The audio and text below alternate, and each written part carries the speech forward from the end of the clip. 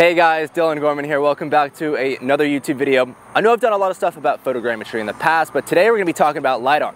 Specifically this $50,000 setup right here, as well as why LiDAR is becoming a gold mine in the drone industry. So let's get right into this video.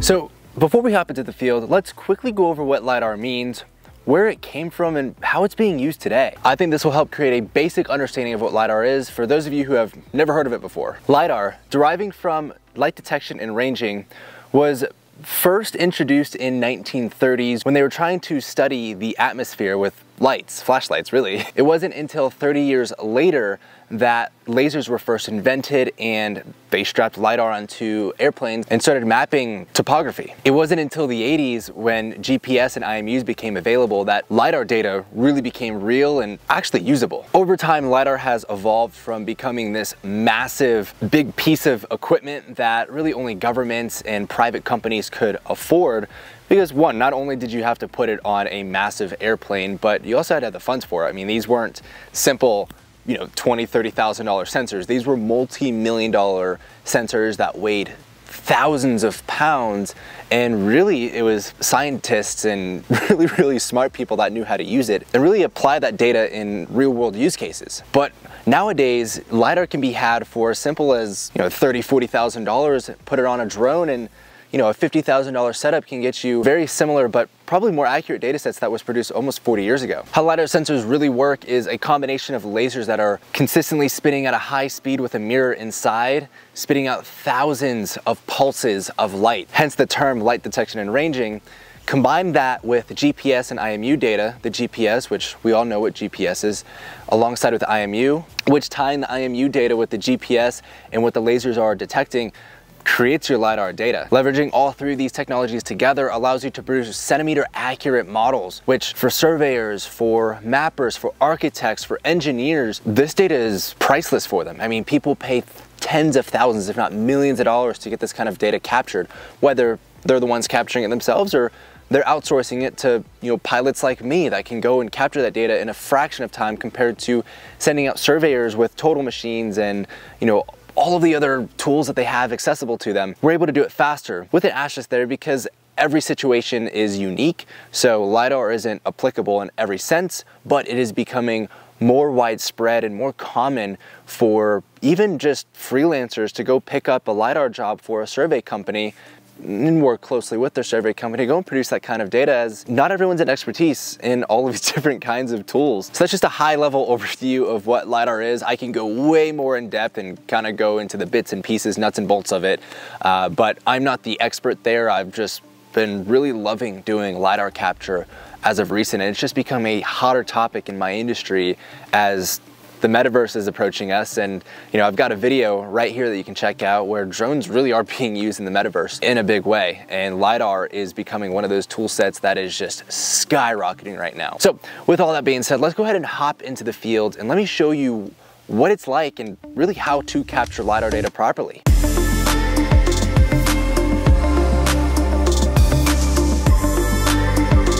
All right, so now that we've gotten LiDAR 101 out of the way, let's jump here into the field and I'm gonna show you the entire process on how to capture LiDAR data. Now, it's not as simple as just popping the drone up with a flight mission and capturing it and sending it off to the client. Now, there's a few steps that you need to do beforehand. And one of those sets is setting your ground control points, or at least the visual markers on the ground control point. One of the most important things about capturing LiDAR data is making sure that you can tie the LiDAR data to some kind of known point in the world. So typically you'll work with a surveyor, or unless you're a surveyor yourself, for these control points all around the property or whatever you're capturing. For what we're doing here, this is actually an environmental study that we're doing that we're sending off to the Army Corps of Engineers where they need to know where the water levels are in relationship to where the property is so that the development can happen and they can put dirt where they need to put it. So since surveyors have already been out here, what I'm gonna go ahead and do is set these aerial tags on top of all of these ground control points.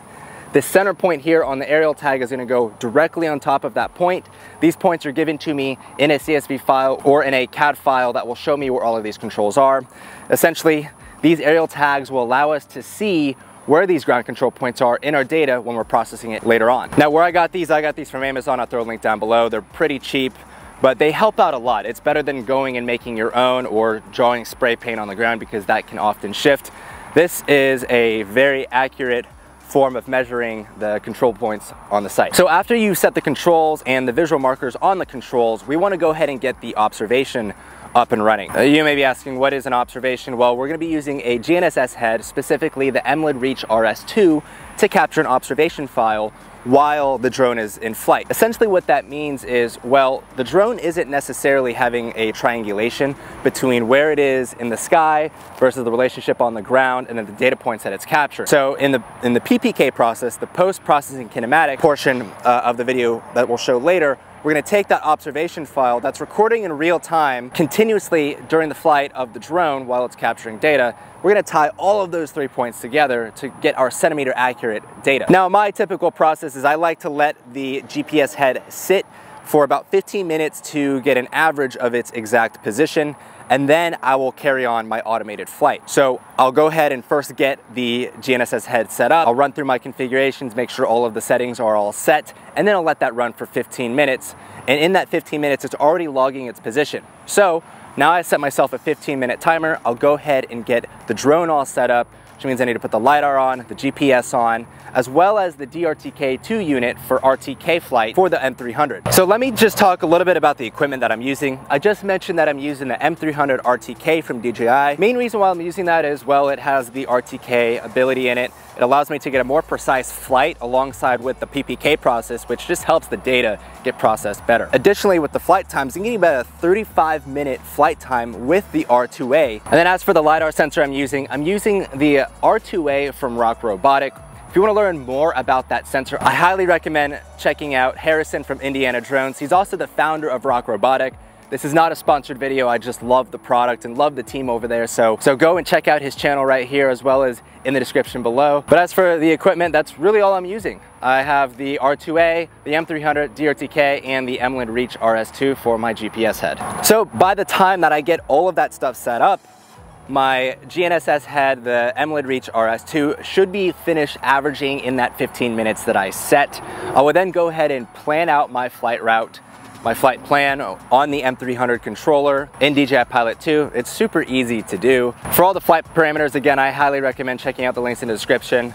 Harrison does a great job explaining on how to properly set up your flight mission, so I'm just copying those exact same settings. Now, as for the flight, what you're gonna do is you're gonna turn the drone on, let it sit for a bit, collect some GPS data, as well as turn on the R2A. I'm gonna connect to it via its Wi-Fi signal that it puts out. I'm gonna connect on my phone for this web interface GUI where I can go and, and essentially start the R2A LiDAR sensor. I'm gonna see in there, it's gonna tell me, it's basically gonna prompt me on what I need to do so that I can have a successful flight. After that's all configured, I'm gonna pop the drone up manually, take it about 100 to 150 feet up in the air, do two figure eights. The two figure eights are very important. That's essentially what calibrates the LiDAR sensor for your flight. Once that's done, you can go ahead and start your mission and the drone will fly by itself. Once it's done, it'll automatically return back, land in its home point. I like to let it sit for about 60 to 90 seconds once it lands and then I'll stop it and then I'll turn everything off. Main reason I like to do that is well, you'll have two significant points in the data in the post-processing where you have the start and end point. And those are very significant, especially if you follow the process that I suggest here. So with all that being said, let's go ahead and jump in front of the computer and process some LiDAR data.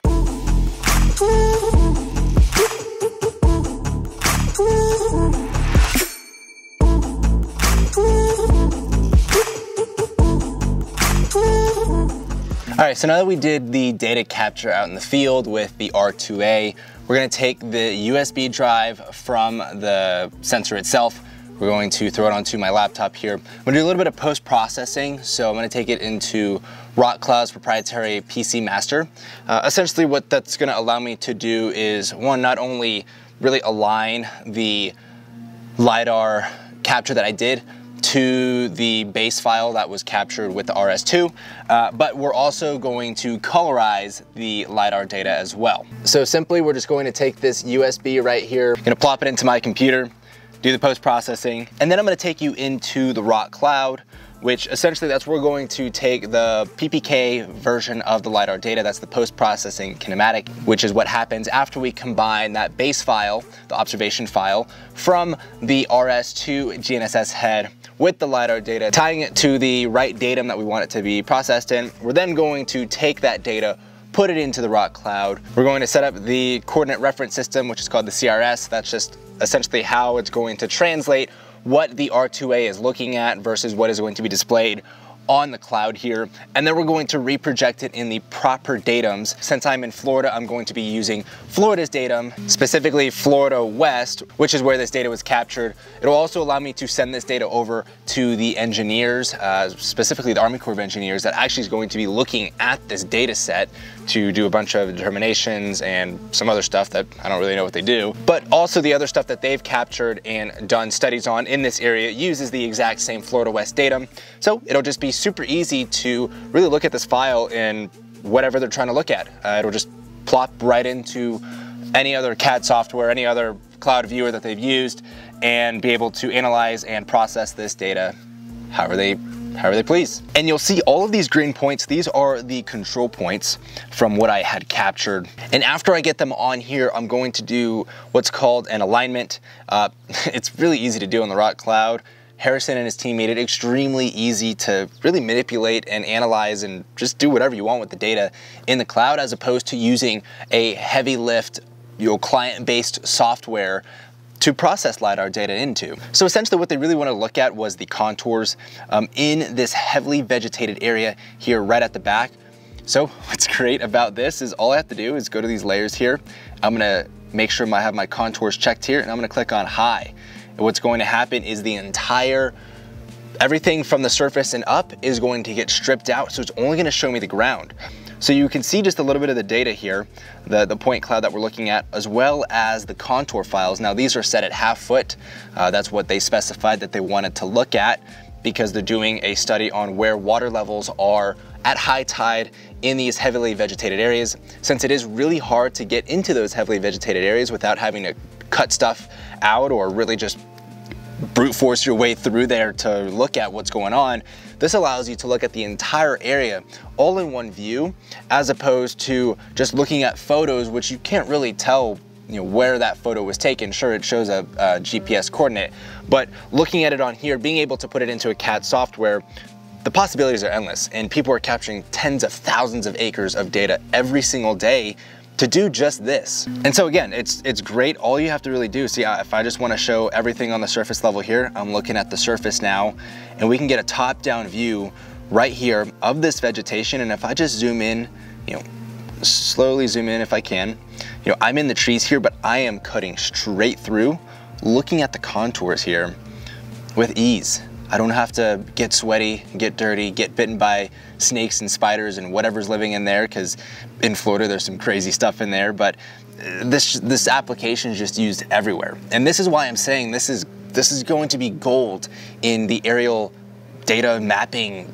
industry as photogrammetry is only gonna get you so much. And just to show you what I'm talking about, I also did a photogrammetry scan here just to show a comparison. I use the P1 camera, so it's a 45 megapixel sensor. I have made a video about in the past, you can check it out right here. You know, it's, it's just so limited. I can simulate looking at a point cloud, which this is what I'm gonna do right here. I'm gonna go into the model mode and I'm gonna turn on the point cloud, but this is just everything on the surface level here. Uh, let me just retoggle that because it likes to do some weird stuff. But you know, it it looks really close to what I did, but it's it's really not that accurate, and we can't see what's beneath that that vegetation level. And what's really interesting here is there's actually two impact zones that they're really focusing on. I actually went back out a later date, recaptured two separate three acre zones, and I was able to have fully processed LiDAR data in the same day. I went, shot at seven o'clock in the morning, got all the data uploaded by noon, and had finalized deliverables sent out by seven o'clock that same day. Seven o'clock at night, from seven o'clock in the morning, uh, you can't beat that. And there's no way that surveyors are gonna be able to compete with something like that with traditional methods of capture. Hope you guys learned something. LiDAR is just exploding. It really is gonna be the next gold mine in the drone industry. So if you like this video, be sure to drop a like. If you wanna see more videos from me in the future, be sure to subscribe and check out some of the other stuff that I have posted on here. I've got stuff from photogrammetry to some drone reviews and everything else in between. And I got some really exciting stuff that I've been working on. So be sure to just be on the lookout. I also haven't really talked about this, but Pilot PilotByte is my drone resource and education website that I've been working on for the last year.